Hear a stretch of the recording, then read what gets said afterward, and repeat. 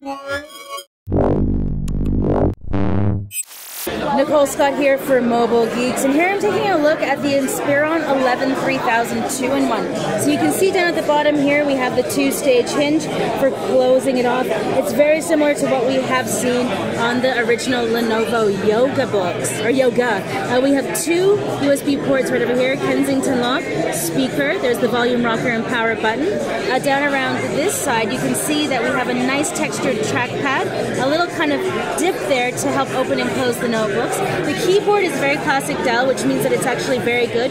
Good size travel in the keys, nice texture. You can see at the top we have a, a soundbar-like speaker, which is pretty nice. Big shift keys on the right and left.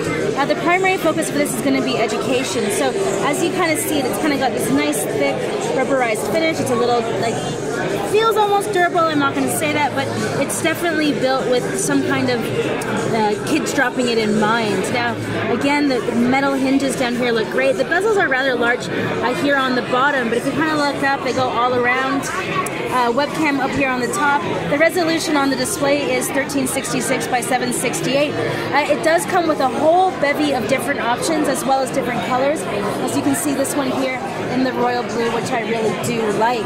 If we take a look at the keyboard on this, this is probably my favorite color configuration of them all.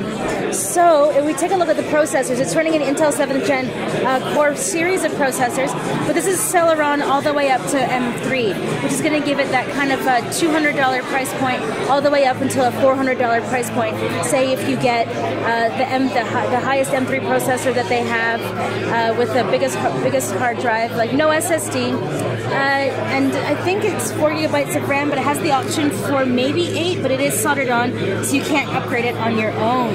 So this has just been my quick look at the new Dell Inspiron 11 3000 2-in-1 from Dell. I'm your host Nicole Scott for Mobile Geeks.